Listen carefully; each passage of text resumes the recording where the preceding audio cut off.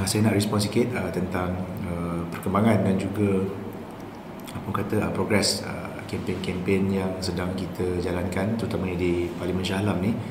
Uh, saya uh, memang uh, untuk minggu lepas dan juga minggu ini telah uh, menghabiskan uh, banyak masa bersama-sama dengan uh, calon Pakatan Harapan di Parlimen Shah Alam iaitu Haji Aziz Yusof dan uh, Alhamdulillah uh, berbaki lebih kurang empat hari ini sebelum hari mengundi uh, sambutan yang cukup baik uh, di lapangan apabila kita turun uh, membawa dan perkenalkan calon kita uh, setakat uh, yang saya lihat uh, sambutan itu lebih uh, jelas uh, di kalangan anak-anak muda khususnya yang pada awal tempoh kempen minggu pertama tu agak agak senyap.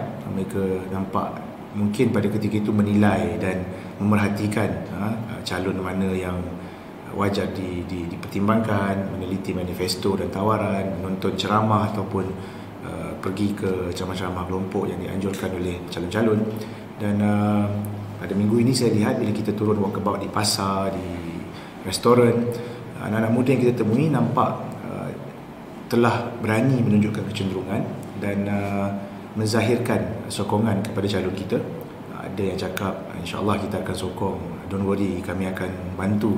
Jadi reaksi-reaksi ataupun uh, ekspresi sebegini uh, sebenarnya satu petunjuk yang positif uh, tentang peluang Pakatan Harapan bukan saja di Shah Alam bahkan di di seluruh negara dan kita lihat juga uh, gerak kerja kempen secara agresif yang telah ditunjukkan oleh Syah Anwar dan juga pimpinan-pimpinan pakatan uh, di seluruh negara. Kalau kita tengok Syah Anwar Ibrahim dia bukan setakat bertumpu di Tambun menjalankan kempen ini tapi dia pusing uh, seluruh negara. Ini berbeza dengan pimpinan-pimpinan komponen lain uh, yang nampak uh, begitu tenang dan selesa seolah-olah tidak ada pilihan raya. Jadi kita pada ketika ini memang menggunakan segala medium dan juga saluran untuk menyampaikan informasi-informasi kepada masyarakat dan kita tahu pertempuran dalam kempen pilihan raya ini bukan hanya tertumpu di lapangan tetapi juga di uh, saluran lain seperti media sosial. Saya lihat uh, banyak sebenarnya informasi-informasi yang bersifat separuh masa ataupun palsu yang disebarkan oleh uh, calon-calon ataupun uh, apa orang kata juru kempen uh, parti lawan ini yang cuba memutablikkan fakta, yang cuba menggaburi fakta. Dan ini telah kita tangani dengan menjawab secara berhemah, memberikan maklumat, memberikan fakta-fakta yang tepat dan saya rasa uh, di social media ini anak-anak muda lebih terbuka. Uh, mereka bukan uh, daripada jenis yang menerima bulat-bulat dan mereka akan pertimbangkan daripada segi kesahihan maklumat itu, fakta maklumat itu dan saya rasa ini uh, kekuatan Pakatan Harapan kerana kita berkempen tidak berasaskan sentimen. Ha, kalau kita tengok uh, calon uh, parti lain macam PN dan BN misalnya, mereka memainkan sentimen. Ha, sentimen Melayu, sentimen agama. Kalau undi PH ini nanti DAP berkuasa, saban hari di, di, diulang sentimen yang sama. Khususnya pengundi-pengundi muda ni dan juga pengundi di, di kawasan bandar ini lebih uh, jelas uh, untuk memberikan pertimbangan mereka kepada calon ataupun parti yang Uh, bercakap atas landasan fakta dan bukan hanya sentimen dan, dan emosi semata-mata. Jadi saya rasa uh, untuk peluang PH di dalam pilihan ini uh, cerah dan cukup positif dan saya harap uh, apa pengundi di luar sana dapat uh, menilai uh, sejauh mana kesungguhan Pakatan Harapan ini walaupun kita terpaksa berkempen dalam ketika mana musim tengkujuh. Ini bukan pilihan raya yang kita minta. Ini bukan pilihan raya yang Pakatan Harapan minta. Ini pilihan raya yang dipaksakan oleh UMNO dan Barisan Nasional kerana nak menyelamatkan Zaid Hamidi yang kini berdepan dengan 47 uh, pertuduhan di mahkamah. Jadi ini pilihan raya yang kita perlu hadapi. Kita terpaksa kerja kuat juga walaupun kita cakap sebelum ini ya kita memang persediaan untuk banjir. Bahkan di Selangor, Pulau Pinang dan Negeri Sembilan kita tak berubah negeri kerana kita nak buat persiapan dan terbukti ianya benar kerana baru ini di Selangor pun hujan lebat dan dan angin uh, kuat air pasang menyebabkan banjir di beberapa daerah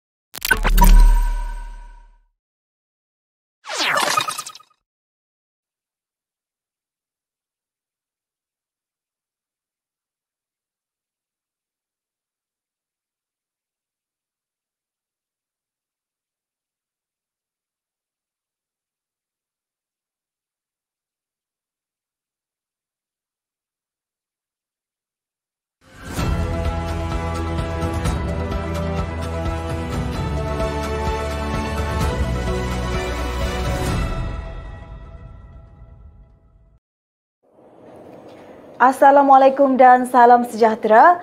Anda masih bersama Undi Selangor siaran 9 malam. Saya Siti Nur Aminah Osman dan saya Rafika Raouf. Baik Min. Ah, lepas ni tinggal tiga hari saja lagi sebelum menjelangnya PRU 15 pada Sabtu ini. Dan uh, kita di Undi Selangor sentiasa memberikan info-info terkini, laporan-laporan terbaru tentang uh, update ataupun uh, program-program serta aktiviti kempen calon-calon di Selangor ini. Dan memulakan kita punya siaran pada 9 malam ini. Kita akan uh, ke portal Selangor Kini, Raf, di mana kita akan uh, tinjau antara berita uh, pada hari ini.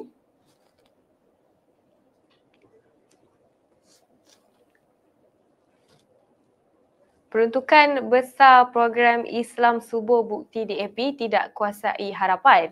Ini uh, yang disebutkan oleh calon Pakatan Harapan Bangi bagi Parlimen Bangi Syarizan Johan. Beliau kata peruntukan tinggi untuk hal ehwal agama Islam dan suburnya kegiatan keagamaan di Selangor bukti Pakatan Harapan bukan dikuasai Parti Tindakan Demokratik atau DAP sebagaimana yang di um, dikatakan oleh pihak-pihak lawan Pakatan Harapan dan menurut Syarizan uh, beliau yakin pengundi di Selangor ini tidak mudah terpengaruh dengan dakwaan yang tidak berasas itu sebab uh, kita di Selangor ini sendiri memang tahu uh, banyak peruntukan ataupun bantuan yang diberikan kepada masjid dan aktiviti-aktiviti mengimarahkan masjid juga sering dilakukan. Jadi itu merupakan seperti kata Syahrizal itu merupakan satu uh, tuduhan yang tidak berasas lah. Hmm. Dan uh, sebenarnya pada waktu-waktu akhir berkempen ni tidak perlu sebenarnya tuduhan-tuduhan sebegitu kerana akan uh, menyebabkan kempen-kempen yang diberikan itu uh, oleh pihak yang memberikan kata-kata negatif itu uh, mencalakan sebenarnya prestasi mereka dan cara mereka berkempen dan membuat tuduhan. Betul. Baiklah, seterusnya kita ke perkembangan kedua uh, tentang Roziah selesai isu air penduduk sebelum bertolak ke lokasi kempen. Sempat lagi ni Raf sebelum dia ke lokasi kempen tu selesaikan isu air penduduk. Roziah Ismail tiba lewat lebih 45 minit di lokasi kempen di flat Taman Cahaya kerana bergegas selesaikan isu air penduduk di kawasan lain. Calon Pakatan Harapan Parlimen Ampang itu berkata, Beliau terus bertolak ke kampung Tasik Tambahan jarak 3.5 km dari taman perumahan itu sebaik menerima panggilan segera untuk meminta bantuan. Dan uh, semasa Rozia sampai tu beliau kata maaf tiba lewat ada masalah air tadi. Perlu selesaikan dulu. Saya dapat panggilan penduduk kampung Tasik Tambahan minta bantuan ada masalah bekalan air. Dan Rozia terus uh, hubungi Air Selangor dan memberitahu tentang masalah penduduk di kampung tambahan ni kampung tasik tambahan dan air Selangor sekarang ni sedang siasat punca masalah uh, dan pada masa yang sama pihak air Selangor telah hantar 5 ton tangki air mm-hmm.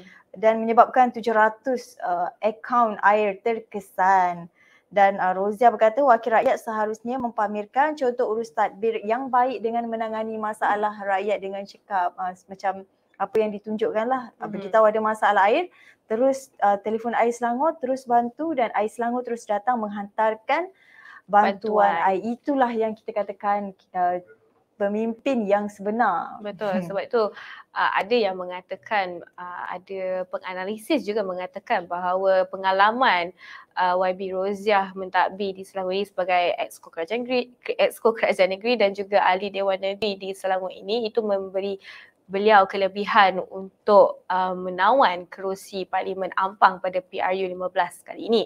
Betul tu hmm. walaupun sembilan penjuru tapi peluang hmm. cerah katanya. Betul. Baik Raf, hmm. itu serba sedikit tentang perkembangan di beberapa lokasi apa yang diupdate di Selangor kini. Sekarang hmm. kita nak masuk kepada topik utama kita hmm. untuk siaran sembilan malam ni. Apa topik kita Raf hari ni? Ha, semestinya seperti yang kita telah sebutkan uh, petang tadi dan semalam kita ada menyentuh tentang politik matang ketika berkempen kerana uh, politik matang ni menunjukkan bahawa sesuatu parti politik tu uh, tidak orang kata tidak terlalu memfokuskan untuk menjatuhkan parti lain malah mereka lebih memfokuskan untuk um, menawan hati rakyat ataupun meng, uh, mengutamakan isu-isu rakyat yang lebih penting berbanding daripada kita, uh, yang dapat kita lihat di social media. Kadang-kadang mereka menjatuhkan parti-parti politik lain dengan mengeluarkan kata-kata kesat ke, kata-kata fitnah ke, laporan-laporan ataupun video-video ataupun gambar yang orang kata boleh membawa kepada fitnah lah. Dan berkongsi tentang uh, kempen-kempen sebegitu, saya ada menerima aduan daripada hmm. beberapa kawan saya yang juga bekerja dalam uh, bidang media, hmm. wartawan yang mana kadang-kala beliau susah untuk uh, membuat uh, story hmm. ataupun berita tentang hmm. setengah ahli politik yang mana menggunakan kempen memburukkan pihak lawan berbanding Betul. menunjukkan hasil kerja dan memberi manifesto kepada orang lain supaya uh, memilih parti mereka dan saya kira cara memburukkan pihak lawan ni akan membawa masalah kepada kempen tu sendiri berbanding diberitahu apa yang dia boleh buat. Betul tu macam tadi pun kita ada sebut juga uh, bila parti sesuatu parti sebuah parti politik tu sering menjatuhkan uh, menjatuhkan apa mengeluarkan kata-kata yang tidak baik kepada parti lawan mereka itu uh, akan menjejaskan ataupun akan efek juga dekat para pengundi sebab kita tahu sekarang social media amat laju info-info dan uh, berita-berita yang tersebar. Jadi untuk pengundi ni mereka akan boleh menilai daripada situ Betul. Mungkin hanya satu petikan video ataupun satu petikan uh, satu jenis gambar dan sebagainya itu akan menyebabkan mungkin mereka akan kerugian pengundi dan mungkin juga akan memberi kelebihan kepada pihak lawan itu. Dan bercakap tentang politik matang hmm. ni Raf, uh, saya difahamkan yang kita ada menerima uh, uh, aduan daripada hmm. seorang uh, YB juga ya Raf hmm. tentang di mana poster kempen hmm. di kawasannya telah dirosakkan menunjukkan politik yang tidak matang lah daripada uh, pengundi dan penyokong itu sendiri sebenarnya bukan sahaja melibatkan calon saja politik matang ni tapi melibatkan penyokong dan pengundi-pengundi yang mana hmm. mereka tidak terlalu taksub dan menghormati parti lain walaupun mereka ada parti yang mereka sokong kan. Betul. Macam kes yang kita terima ni tentang merosakkan banner. Betul yang bukan setakat uh, kita dah lihat beberapa kes uh, yang membabitkan banner-banner calon khususnya calon Pakatan Harapan banyak yang rosak. Ada juga mungkin uh, calon-calon daripada uh, parti lain juga ada rosak. Dan kita telah menemu, menemu bual seorang uh, ahli Dewan Negeri di Selangor iaitu ahli Dewan Negeri Kapur Tungku Lim Yi Wei berkenaan isu ini. Jadi uh, kita nak dengar dulu apa kata Lim Yi setakat ini um, gangguan yang ada uh, melibatkan uh, kerosakan ataupun pengeluaran uh, bendera-bendera dan uh, setengah uh, banting atau billboard uh, kami. So kes yang pertama uh, sebenarnya dilaporkan oleh penduduk sendiri. Actually kedua-dua kes uh, dilaporkan oleh uh, para penduduk kawasan itu. So the first one ialah uh, berlaku di Damansara Jaya. Ada satu uh, Rhode Island yang yang uh, keluar dari Damansara Jaya uh, berhubung dengan LPP dan um, pada uh, sebaik pilihan raya musik pilihan raya dan pengguna uh, kami telah mendirikan uh, beberapa bendera dan satu uh, uh, billboard kecil dengan uh, wajah uh, saudara Gobin. Dan uh, masuk hari ketiga atau keempat um, penduduk mendapati bahawa kesemua uh, publicity kami telah uh, uh, ditanggalkan dan digantikan dengan publicity calon DN. So penduduk itu sendiri marah dan dia laporkan kepada kami. Dan kes yang kedua um, berlaku uh, dua hari yang lalu uh, di mana uh, beberapa banting uh, kami uh, di spray dengan uh, ya yeah, uh, kena vandalize lah dengan spray paint. Um, so bagi kami, um, kita selalu um, memberi arahan lah kepada uh, pihak kami supaya you know, kita nak kempen secara sihat. So jangan sentuh uh, bahan uh, publicity parti lain uh, kecuali uh, kalau mereka atau bahan tu macam mengganggu uh, penglihatan jalan raya, you know, uh, mengganggu road sign dan sebagainya. Tetapi uh, itu pun boleh diselesaikan melalui uh, wakil kami yang ronda bersama SPR pada waktu malam. So uh, we, we tell our people lah jangan sentuh barang orang lain. Uh, report to us dan kita akan uh, selesaikan dengan SPR. So SPR akan turunkan arahan untuk uh, uh, turunkan bendera ataupun turunkan billboard sekiranya ia tidak menepati uh, undang-undang yang ada. Saya harap pada uh, 19 November uh, rakyat Malaysia akan um, pertamanya keluar mengundi.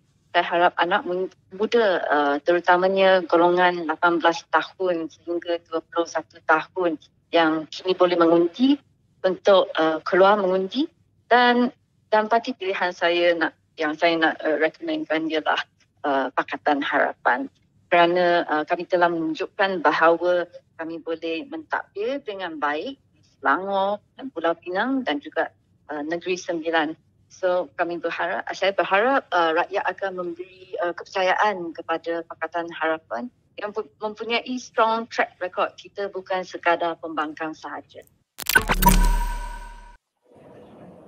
Baik itu tadi komen YB Lim Yiwei adun kampung Tunku tentang situasi yang berlaku di sana yang mana sesetengah penyokong mm-hmm. telah merosakkan ataupun mengalihkan banner diganti dengan banner parti lain dan telah mm-hmm. diadukan sendiri oleh uh, penyokong di pihak uh, Pakatan Harapan kepada mm-hmm. YB Lim Yiwei yang mana mencerminkan satu situasi budaya politik yang tidak matang sebagaimana Betul. yang kita bincangkan tadi dan uh, kita nak lihat tweet daripada uh, Fahmi Fazil ya tentang apa yang menimpa beliau Betul, beliau juga ini. antara antara calon mangsa, yang mangsa kepada politik yang tidak hmm. matang ni.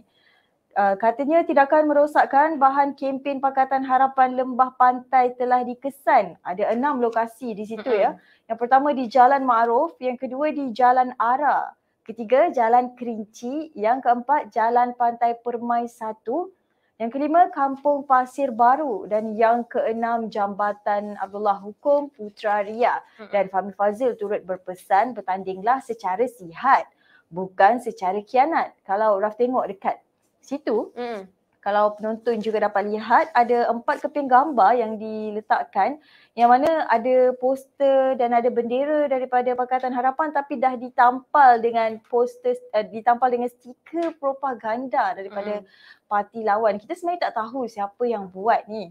Betul. sama ada uh, di pihak mana tapi yang kita tahu ini adalah cara politik yang tidak matang yang mana Betul. orang dah uh, print banner mahal-mahal kan mm-hmm. penat-penat nak berkempen tapi dengan mudah menumpang di atas banner yang dibuat tu dengan menampal uh, stiker propaganda yang tidak sepatutnya uh, berlaku lah jika nak berkempen uh, mungkin boleh letakkan bendera dan poster di tempat lain bukan Betul. di tempat yang telah diletakkan dengan uh, bendera dan poster-poster ini Mm-mm. Ini kiranya taktik kotor dan Betul. sangat memalukan lah. Tidak Betul. sepatutnya berlaku uh, pada musim kempen pilihan raya. Memandangkan mm. lagi berapa hari ni nak mengundi. Tidak Betul. sepatutnya lah. Tidak sepatutnya berlaku. Betul. Dan uh, seterusnya kita nak lihat uh, Twitter jahatnya manusia ni daripada Cik Yani jahatnya manusia ya harap Ustaz Nur Azman bersabar. Ingatkan 2022 orang dah matang. Ada lagi perangai sebegini. Kalau dapat lihat uh, calon daripada Pakatan Harapan juga ini beliau muka dia kena cat warna merah Min kalau dapat lihat di situ. Ini buat kata Cik Yani ni memang betul lah sebab dah 2022 sepatutnya dah makin matang. Bukannya masih lagi melakukan benda-benda mungkin sebab itu juga ada uh, cadangan ataupun daripada kalau kita boleh kalau kita ingat sebelum kita ada sebut calon Pakatan Harapan di Hulu Selangor iaitu Dr. Satya Prakash yang mahu menggunakan kempen secara digital bagi mengelakkan perkara sebegini, perkara sebegini berlaku sebab macam uh, kita tahu me, ia membabitkan duit kita mengeluarkan wang untuk print untuk uh, mungkin untuk uh, berikan apa uh, jentera yang memasang jadi bila jadi begini agak menduka citakan mengecewakan untuk uh, calon-calon. Betul tu Raf dan mm-hmm. kadang-kala uh, duit-duit yang mereka dapat ni mungkin hasil dana kutipan orang ramai Betul. yang menyokong parti tersebut dan memberikan sedikit uh, peruntukan mm-hmm. untuk berkempen dan bila berlaku begini rasa tidak selesa dan rasa mm-hmm. tidak tidak sepatutnya berlaku kerana uh, bukan murah ni Raf sebenarnya Betul. nak buat poster-poster yang mana lima tahun sekali baru kita nampak dan baru mereka gunakan. Mm-hmm. Jadi kepada penyokong-penyokong di luar sana, kita janganlah taksub dan janganlah uh, membuat perkara-perkara yang boleh uh, me- menjadikan sesuatu kempen itu tidak sihat dan Betul. tidak uh, tidak bermoral. Uh, Betul. Katanya. Dan kita ada tweet daripada netizen yang mana mm-hmm. menganjurkan supaya politik matang ini di laksanakan ataupun diamalkan dipraktikkan oleh semua tak kira tua tak kira muda sama Betul. je tapi ini SIC uh, dia ada komen sikit uh, ini untuk pengundi muda kepada pengundi muda jangan taksub kepada parti politik celik politik dan politik matang mm-hmm. jangan bodohkan orang yang tak setuju dengan pilihan anda sekarang belum tentu setuju uh, dengan kau yang semalam. Kau tiga tahun lagi belum tentu setuju oh, dengan pilihan kau ni jam. Uh, maknanya uh, kita pada masa depan uh, macam kita lah uh, saya rasa semua orang pun ada pengalaman ni. Yang mana Betul. kita tengok posting-posting kita yang lama kita rasa Kata, macam kenapa kita buat macam tu? kenapa aku post benda ni dulu? Macam status-status Facebook yeah, betul. Uh, dan update-update di Instagram dan sebagainya. Kita sendiri mm. rasa kelakar dengan diri Betul. kita yang lama. Inilah yang nak disampaikan dengan SIC yang mana dia ber, dia memberi tahu semua supaya jangan taksub celik politik dan politik matang. Betul. Dan seterusnya kita nak tengok perkongsian daripada netizen ni ha, daripada Alan Yeager. Kalau dah tiba-tiba I try hard pakai t-shirt nak tunjuk lambang parti politik rupa gini, confirm kena bayar lah. Kalau jenis sokong cara matang, tak ada rupa gini, tak kisahlah BN ke, PH ke, PN ke, bukan orang tak boleh fikir. So ini mungkin ada sesetengah kalau kita ada perkongsian yang menunjukkan um, beberapa influencer memakai baju baju parti politik hmm, uh, satu parti politik tu. Jadi um, mungkin uh, mereka kita pun uh, tidak, tidak tahu, tahu uh, keadaan yang sebenar betul. tapi menurut uh, Ellen ni kalau sokong cara matang tak ada rupa gini maknanya tak terlalu menunjukkan tapi itu tidak salah sebab sokongan itu hak masing-masing. Cuma uh, janganlah memakai terlalu. baju uh, parti politik dan membuat provokasi hmm, sebenarnya. Itu betul. itu salah satu daripada apa yang perlu dielakkan. Betul. Kita ke tweet seterusnya daripada Faiz Fazil. Faiz Fazil ni adalah calon juga daripada Pakatan Harapan. Mm-hmm. Ketika walkabout di pasar pagi gemas pagi tadi, Jentera BN turut mengadakan program di lokasi sama. Sebelum meninggalkan lokasi program, saya bertegur dengan Jentera BN. Mm-hmm. Politik nilai dan matang ini suatu yang subur untuk demokrasi negara yang kita cintai. Kat situ mm. ada juga hashtag kita boleh dan hashtag dan pilih Faiz. Uh, itu dia punya tagline berkempen tu saya rasa. Betul kata Faiz Fazil ni. Walaupun kita bertemu dengan jentera daripada parti politik yang lain, mm-hmm. uh, sengit sekalipun, kita perlu mengeratkan silaturahim juga uh, maksudnya kita sesama saudara Islam kalau bagi yang beragam Islam dan Betul. kalau dari segi konteks Malaysia kita sesama saudara Malaysia yang mana tidak sepatutnya bermasa muka dan tidak sepatutnya orang kata bergaduh Betul. hanya kerana uh, fahaman politik yang berbeza. Saya pernah tengok ada satu uh, poster ataupun banner uh-huh. yang sangat besar tak kira lah apa fahaman politik kita kena uh, apa kena sentiasa uh, janganlah sampai tak bertegur siapa hmm. hanya kerana uh, fahaman politik yang berbeza Betul. macam yang Faiz Fazil dicakap hmm. uh, politik nilai dan matang hmm. sama juga dengan yang Hans Isaac pernah cakap Betul. Politik matang dan situasi begini pun uh, dat Datuk Sri Amiruddin Syari pun pernah juga bertemu dengan penyokong daripada Barisan Nasional uh, di program-program kempen beliau jadi itu sedikit sebanyak menunjukkan betapa matangnya lah sebenarnya orang kat Malaysia ni. Cuma yang ada beberapa pihak je lah yang suka melaga-lagakan. Itu adalah tidak baik. Baik, uh, seterusnya uh, perkongsian di Twitter saya Sadik. Uh, ini berkenaan dengan poster Nurul Izzah yang dikoyakkan mukanya. Saya Sadik berkata kita patut amalkan politik matang. Sepatutnya tiada ruang diberikan kepada vandalisme, pemusnahan atau keganasan. Jika anda tidak bersetuju dengan pihak lawan, yakinkan pengundi mengapa mereka harus mengundi anda sebaliknya. Bukan pi rosakkan banting orang. Come on. Ha, itu kalau tengok yang sebelahnya pula daripada suara keadilan. Ayuh anak muda, kita bina legasi politik matang, tinggalkan budaya kebencian yang akhirnya pasti merugikan. That's just not who we are. Walau banting dikoyak tetapi semangat tetap kental insya Allah.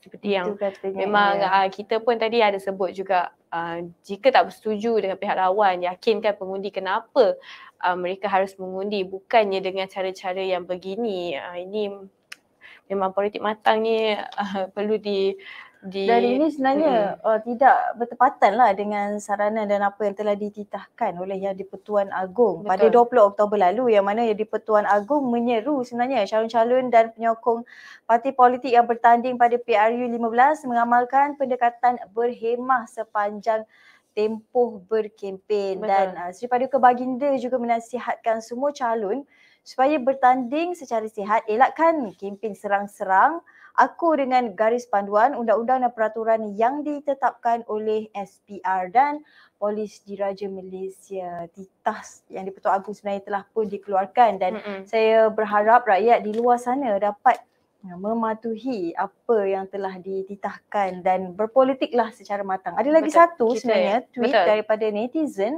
yang ini nama dia Fatihi Fatihi uh, Fatih Jun. Fatihi uh, Junaidi. Fatih Jun okey. Junaidi. Fatih ya, Junaidi. Pandai Raf ya.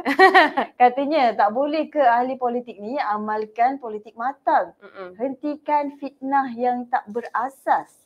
Lebihkan promosi apa kebaikan calon dan parti yang akan bawa untuk rakyat. Ini betul Raf. Betul. Kalau kita asyik memburukkan pihak lawan, kita selalu uh, membentangkan ceramah-ceramah yang sebenarnya tak membina pun, tak ada pun menunjukkan apa yang kita akan buat, apa tawaran kita untuk rakyat di kawasan tersebut. Betul. Sebenarnya itu lebih baik kita jangan berkempen lah kalau setakat nak memburukkan ataupun menggunakan sentimen-sentimen seperti perkauman dan Betul. sebagainya. Kerana perkara ini semua akan dinilai oleh pengundi dan pengundi di Malaysia ni macam tadi kita dah cakap mereka ni mm-hmm. makin matang. Betul. Mereka bukan menerima bulat-bulat apa yang dikata mereka akan kaji dan tengok sahih ke tak fakta yang diberi ataupun yang dibentangkan oleh calon ahli parlimen ni. Betul. Jadi semestinya um, hentikan fitnah yang tak berasas seperti yang Fatihi Junaidi ni cakap. Betul tu Min dan uh, bercakap mengenai itu ada sedikit tentang perkongsian untuk politik matang dan uh, bercakap tentang kerosakan banting, banner dan sebagainya di Selangor. Polis Selangor telah membuka 16 kertas siasatan insiden kempen. Uh, menurut Ketua Polis Selangor, Datuk Arjunadi Muhammad berkata, ia termasuk uh, melibatkan kes merosakkan poster dan bendera serta tindakan mengganggu perjalanan kempen dan uh, terdapat satu kes yang melibatkan tangkapan terhadap suspek yang mengganggu kempen pilihan raya ke-15 dan tambah uh, Datuk Arjunaidi, Polis Selangor akan mengetatkan lagi pemeriksaan dan kawalan keselamatan sepanjang kempen PRU 15 yang berbaki lebih kurang tiga hari lagi. Uh, dan menambah uh, beliau juga akan menambah bilangan anggota terutama di kawasan hotspot dan polis Selangor telah mengenal pasti kira-kira 70 lokasi hotspot yang menjadi tumpuan sepanjang kempen PRU 15 ini. Hmm. Dan apa yang kita risaukan adalah semasa hari pengundian tu walaupun hmm. dah tak boleh berkempen tapi hmm. uh, macam uh, insiden pada PRU 14, PRU 13 yang lalu kita lihat ada je uh, pergaduhan, pergaduhan dan perkara-perkara yang tidak sepatutnya sehingga membawa kepada laporan polis, tangkapan dan sebagainya. Itu yang kita Betul. tidak mahu berlaku untuk pilihan raya umum ke-15. Dan Betul. saya nak berkongsi juga Raf sedikit uh, petikan daripada Profesor Maria Dr. Ismail Sualman daripada UiTM yang mana katanya usaha penerapan politik matang ni menekankan kepada proses yang berlandaskan pemikiran yang masak. Uh-huh. Berpandukan kepada data ha, dan hujah bagi kesemua pihak. Khasnya parti-parti politik dan rakyat yang membuat penilaian menentukan sikap dan tindakan terhadap sesuatu isu yang timbul di Malaysia dan semoga tindakan politik oleh mana-mana pihak mestilah membawa kepada kesejahteraan bersama macam yang kita dah bincangkan tadi. Betul sebenarnya berlandaskan kepada pemikiran yang masak berpandukan fakta dan hujah. Maknanya hmm. kalau bercakap tu janganlah setakat nak burukkan orang, betul, tapi tak perkauman, tapi konten apa yang nak dibuat, apa yang nak dimajukan untuk kawasan tu tak ada. Mm-mm. Asyik memburukkan orang tapi apa yang anda tawarkan rakyat pun tak tahu. Betul. Itu adalah uh, cara kempen yang bermasalah, tidak matang. Betul.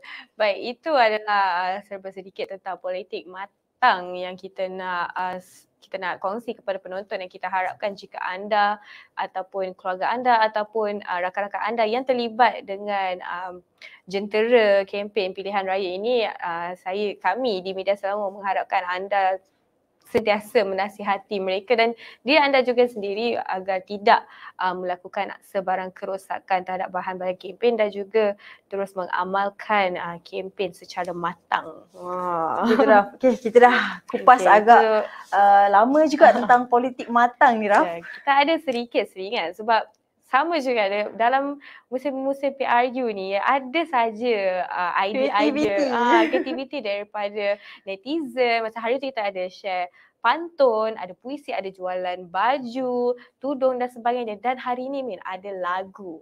Lagu ah, pendek-pendek lagu, lagu yang pendek-pendek yang kita terima daripada laman social media. Jadi uh, jom kita dengar apa uh, kreativiti-kreativiti yang diberikan oleh warga netizen. Jom kita tengok. Yang mana satu idaman kalbu yang biru muda tau biru tua merah pun ada. Kau pilih saja apa mahu kau keliru jumpa aku. Undilah tuan dan tuan dua puluh tujuh hari bulan. Marilah mari pergi mengundi. Jangan lupa kewajiban pada negara. Jom kita mengundi, jom kita mengundi, jom kita mengundi, jom kita mengundi. Ini tiba masanya pilihan raya. Semua rakyat Malaysia marilah bersama. Tunaikan kewajipan pada negara Undi anda semua sangat berharga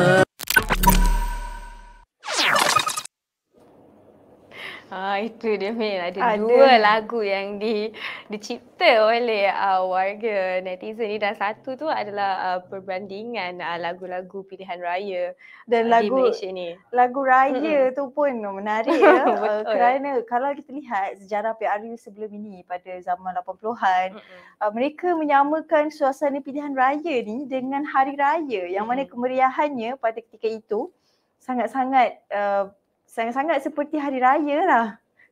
Betul betul dan sebab kita pun uh, bila bila musim uh, pilihan raya ni macam-macam kan kita lihat uh, macam-macam bendera, banting, banner dan semuanya. Jadi itulah yang mencetus kemeriahan di pilihan raya di Malaysia ini. Baik. Kita um, nak kongsilah pilihan raya ni kita sentiasa nak mengingatkan kepada anda di Selangor, penonton di Selangor dan juga mungkin di uh, luar Selangor untuk sentiasa menyemak uh, di manakah pusat pengundian anda melalui portal My SPR Semak yang telah pun uh, yang tertera di skrin ini. Anda boleh uh, layari portal myspr.semak.spr.gov.my dan uh, pilih semakan daftar pemilih jangan anda pilih calon sebab anda adalah pemilih. Dan uh, letakkan nombor kad pengenalan serta insert captcha dan semak maklumat peribadi dan maklumat pengundian anda di portal ini. Dan jika uh, anda nak lagi memudahkan anda anda boleh uh, muat turun aplikasi MySPR uh, yang uh, di belakang ini. Um, menggunakan aplikasi lebih mudah kerana ia terus anda tidak perlu kena buka web browser dan sebagainya. Jadi anda just klik pada aplikasi itu dan sudah keluar dah maklumat anda. Jadi anda perlu menyemak uh, dan memastikan butiran-butiran anda tu betul dan bila hari undi nanti anda keluar anda kena pastikan yang um, butiran ataupun uh, pusat pengundian anda itu betul dan pastikan saluran anda itu tepat. Dan seiring juga dengan um, menyemak pusat mengundi Met Malaysia telah mengeluarkan ramalan cuaca pada satu ini iaitu oh maafkan saya Ni uh, maklumat daripada SPR Selangor, senarai pusat mengundi yang tu tak awal bagi PRU ke-15. Uh, kalau dapat lihat di skrin ini, ada dua waktu yang tu tak awal, 8 pagi hingga 2 petang dan 8 pagi hingga 4 petang. Untuk 8 pagi hingga 2 petang membabitkan empat parlimen iaitu di Utara Selangor, di Sabak Bernam, Hulu Selangor, Tanjung Karang dan Kuala Selangor. Dan anda dapat lihat nama pusat mengundi disebut. Jadi bila anda simak di MySPR itu, jika anda berada di kawasan parlimen ini, anda perlu lihat nama pusat mengundi anda itu dan dan pastikan anda keluar uh, undi awal sebelum jam 2 petang jika anda sampai lepas pukul 2 jadi anda tak sempat nak laksanakan tanggungjawab tanggungjawab anda dan pada uh, yang pukul 8 hingga 4 petang itu pula membabitkan Parlimen Sabak Bernam, Tanjung Karang dan Kuala Selangor di Don Sabak, Don Sungai Burong dan Dun Permatang dan Dun Bukit Melawati. Uh, ini membabitkan Sekolah Jenis Kebangsaan Tamil Ladang Sabak Bernam, Sekolah Kebangsaan Seri Gambut Tanjung Karang, Sekolah Jenis Kebangsaan Tamil Ladang Mary, Sekolah Jenis Kebangsaan Tamil Selangor River. Jadi pastikan anda keluar uh, keluar awal untuk hari Sabtu ini untuk keluar undi awal dan sedikit pesanan juga um, disebabkan uh, ada uh, anda dinasihatkan, digalakkan untuk keluar undi awal. Jadi pastikan anda dah breakfast dulu, anda bawa air secukupnya sebab kemungkinan akan beratur panjang lah. Baik, hmm. bercakap tentang beratur panjang ni, kita hmm. lihat dulu info cuaca untuk 19 November nanti. Yang mana uh, untuk 19 November nanti kesemua 22 parlimen di Selangor diramalkan hujan pada waktu petang dan hanya uh, ada uh, panas terik di beberapa lokasi seperti Selayang, Gombak, Ampang, Pandan, Hulu Langat, Bangi, Puchong, Subang, Damansara, Petaling Jaya, Sungai Buloh dan Sepang. Yang lain semua diramalkan mendung dan hujan. Tapi di waktu petang kesemua diramalkan uh, kilat ya. Ribut petir. Ribut petir hmm. dan uh, kepada anda semua memandangkan pada waktu petang nanti diramalkan hujan, anda datang keluar undi awal, uh, jangan melengah ke masa dan untuk uh, itu anda macam tadi Raf dah cakap akan beratur panjang rancang perjalanan trafik anda untuk mengelakkan jam memandangkan ramai yang akan datang keluar awal nanti uh, jadi uh, kepada pengundi di luar sana uh, pastikan anda bersedia dengan sebarang kemungkinan sekiranya jam ataupun sekiranya uh, berlakunya kesesakan trafik di luar jangka pada masa yang sama sekiranya hujan awal kerana Betul. benda ni semua kita tak jangka mm-hmm. uh, bila yang ini cuma ramalan oleh Met Malaysia untuk ramalan hari cuaca mengundi Betul. dan, dan seterusnya mm-hmm. mungkin untuk uh, persediaan juga anda boleh bawa payung lah siap-siap sebab uh, kita tak tahu lah ramalan mungkin hujan itu akan lebih awal mungkin uh, akan belah petang. Jadi persediaan anda untuk hari mengundi itu amat penting. Uh, bawa payung, bawa air, makan ataupun sambil beratur tu mungkin boleh bawa roti atau coklat dan sebagainya. Hmm. Baik, uh, seterusnya untuk anda yang masih tidak tahu lagi nak undi siapa. masih belum tahu lagi apa yang ditawarkan oleh Pakatan Harapan masih lagi nak mendengar apa yang akan diucapkan oleh uh, Presiden Keadilan ataupun pengerusi Pakatan Harapan Datuk Seri Anwar Ibrahim bersama dengan Yang Amat Berhormat Datuk Menteri Besar ada Said Sadiq, Nurul Izzah, Mat Sabu, Anthony Luke. Anda boleh datang ke grand finale jelajah Mega Pakatan Harapan kita boleh sebelum tarikh uh, mengundi pada 19 November nanti. Anda boleh datang pada 16 November esok 8 malam di Dewan Serbaguna AU2 sebelah Padang MPAJ AU2 lokasi baru. Uh, anda bolehlah uh, bawa rakan-rakan ataupun bawa kawan-kawan untuk mendengar apa yang akan ditawarkan oleh Pakatan Harapan sebelum anda turun mengundi pada 19 November nanti. Tak lama lagi dah 19 November. Mm-hmm. Betul. Jadi ini adalah uh, waktu-waktu terakhir yang sangat penting untuk anda membuat pertimbangan siapa yang anda patut undi uh, pada hari Sabtu nanti. Betul. Dan anda jangan lupa uh, kita dah sampai ke penghujung rancangan.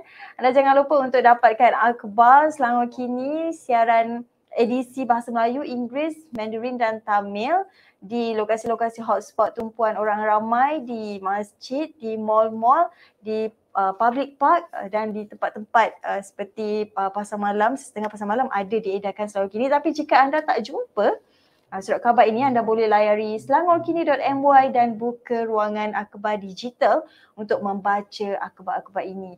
Buka ruangan terkini untuk beri- berita terkini, buka ruangan Selangor untuk semua perkembangan tentang negeri Selangor dan ruangan sukan untuk berita sukan tersedak-sedak saya nak cakap maklumat ni kepada orang ramai. Dan Betul. jangan lupa untuk subscribe Selangor TV dan aktifkan notifikasi untuk berita terkini yang kami update terus kepada anda serta follow akaun uh, Instagram, uh, Facebook dan Twitter Media Selangor dan di TikTok pula macam mana Raf? TikTok juga jangan uh, cari Selangor TV dan jangan lupa untuk follow TikTok Selangor TV di mana anda boleh tahu terus uh, video-video baru yang dikeluarkan ataupun yang dihasilkan oleh uh, rakan-rakan kami di Selangor TV ini. Baik, siaran 9 malam Undi Selangor kita nak henti di sini. Kita akan kembali bersiaran pada hari esok 9 pagi, 1 tengah hari, 5 petang dan 9 malam. Oleh itu, kita jumpa lagi esok. Saya Rafika Rauf. Dan saya Siti Nur Aminah Osman bertemu lagi.